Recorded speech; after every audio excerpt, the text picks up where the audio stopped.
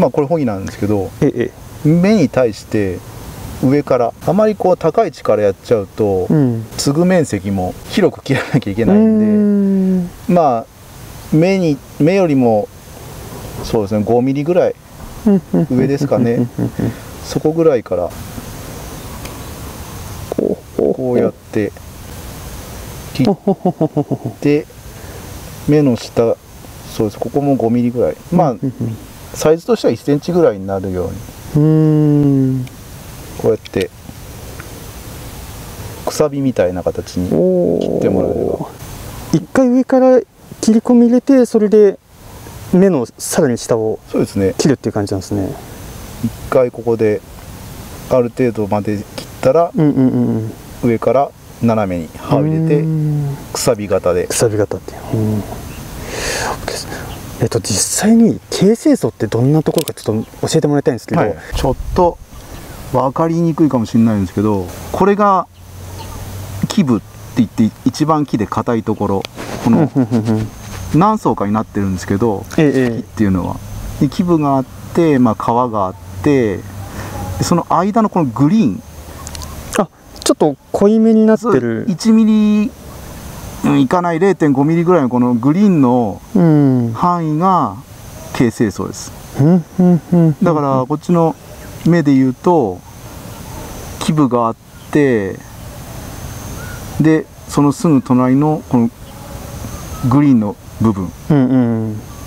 ここが形成層になるんでこれを唾液だとすれば、はいはいこの目の方のグリーンの形成層とうんうんうん。唾液の方のグリーンの方が合わさるようにぴったりと。ああはいはいはいでまあこう両サイドが両サイドの形成層がうん。こうズレもなく合わさるのが一番理想なんですけど、うんうんうんうん。用意した穂と唾液がサイズがちょっと合わないっはいてい。う場合もあるんで、うん。その場合は右左どっちかの形成層さえ合わさっていれば全然つくんで。両側である必要はないんですそうねです。どっちが片方さえついていればうんうんうん。絶対つきます、ああそうなんだ、まあ、一応理想としては両側だけねど、両側ついていれば一番いいんですけど、うん。これちょっと唾液と見立ててもらってで用意した目と唾液のサイズこれちょっと違うんですよね、はいはいはいはい。でこの状態でど真ん中にこの目を持ってくると、うん。両サイドの形成層がはみ出ちゃうんですよね、こうなると目の方の形成層と唾液の方の形成層が合ってないんで、うん。これつかないんですよ。ああ真ん中にしてるけどダメなんですね。ダメです。なので右か左どっちかの形成層に寄せてあげてうん。片方だけでも目と唾液の形成層が合うようにしてあげる。こうするとうんうん。つきます、あ片方だけついてればもう大丈夫大丈夫です。全然つきますそれで。ね大事大事と見立ててる方はねちょっと形成層見えちゃってますけど。そうです。これ見えててもこの上からあのさっき見せたあの接ぎテープをうん。ぐるぐる巻きにしちゃうんで、乾燥することもないし見えてても問題ないです。大丈夫なんですね。大丈夫です。形成層を合わせるっていうところが大事なんですね。サイズが合わない場合はどっちが片方でも合わせてあげる。そうすると絶対つきあまわかりました。すじゃあ実際にはい。ちょっと目継ぎの方やっていきたいと思います、お願いします。まずはじめ唾液の用意なんですけど、はい。先手バサミで余分なちょっと邪魔な枝を初めに落としちゃいます、うんうんでその後にここに葉っぱがバーってびっしり生えてるんですけど、もうこれは芽ごと全部うん。落としちゃいます、これなんでこれするかっていうと、うんこの芽が残ってるとうん春先芽が吹いてくるんですよね。あそういうことか。そうですでホギの芽っていうのは唾液よりも遅く出る場合があるんで先に唾液の方の芽が出ちゃうとホギの芽が負ける場合があるんですよね。ねだから今のうちに全部芽はかいちゃってちょっと丸裸下は丸裸ですけど、まあ、上は生かしておくようにこう残しておきます、ん枝も葉っぱも。はいはい。まずはじめに台木をそうですね地面から5センチもいか3センチくらいかなあまり下すぎると、はい。植え付けの時に芽と台木との間のところに土をかぶしちゃうことになるんうでそうするとあのそこから根っこが出ちゃうんですよね、はいはい。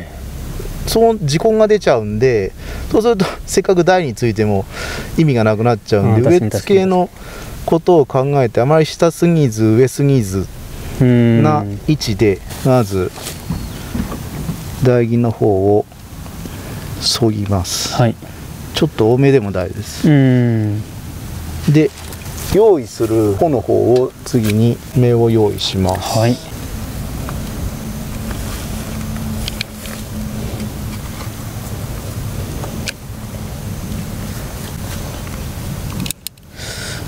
で芽が乾かないようにはい。水濡らしておきます。あはいはいはい。そしたら台木の方のうん。いらない部分の皮っていうかうんうんうん。幹かな。これを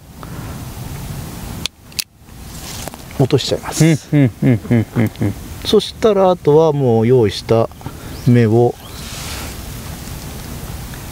ここに差し込んであげて。うわこれはぴったりだなめっちゃぴったりですね。うまいも。んえー、すごいそしたらその上から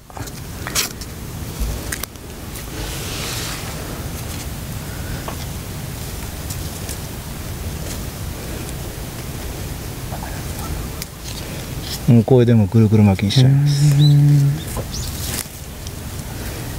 柄の部分は外して巻き込まないようにしてやそうですやるってことですね。もうなるだけ隙間がないようにあももうぴっしり。う目のギリギリのところまで。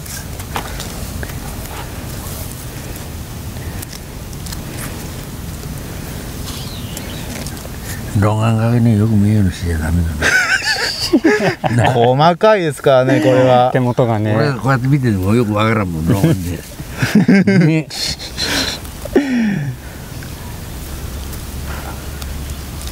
結構きつめに。うーん。これでも OK いやーもうガッチガチですねこれ。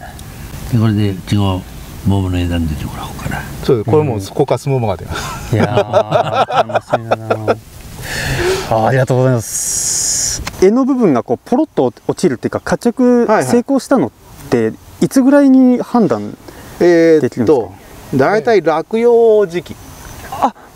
落葉時期に。そうです。桃の葉が落ちる時期にここれももしついてれば落ちますじゃあもう本当11月に入ればうん。もうもう,、そうですね。あ結果が分かるんですね。春になって芽が出てくるのわからんと思ったらね。うん。ねもうこの段階で分かるんですもんね。なるほどでもあれですよ。あのー全然動きがないとああれついてあんのかなって。